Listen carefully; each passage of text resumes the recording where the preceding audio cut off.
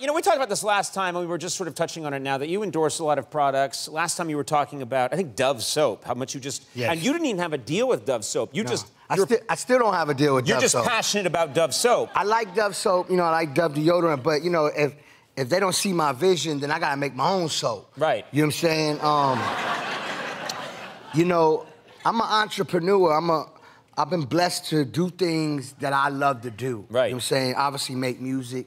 But you know, I But what do you know about making soap? I mean, uh, Oh, I know I know a lot about it. You know what I'm saying? I know what I like. Yeah. And what I want to smell like and what you know, you ever been like have you been on vacation before?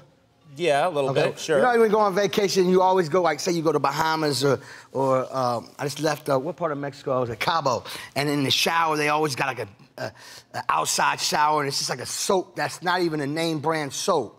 So I was like, man, you know what? I'm gonna make my own soap. So I'm here to announce today, and this is crazy that, that we're talking about this. I'm gonna make my own soap, and. if, if, if, if Dove don't see my vision, I, hey, I guess when you when you go to the show, let me ask the fans: if you see another soap or my soap, which soap you gonna get?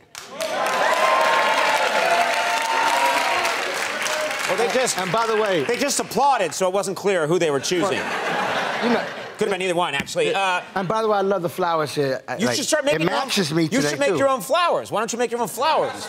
Grow your own flowers. Have your own nursery. I was about to bring that up. I would love, not being honest, and I might need help with this. Well, I know what type of flowers I love. I know the, the vibe and energy, but I would love to have like a Khaled plant, a, a Khaled flower.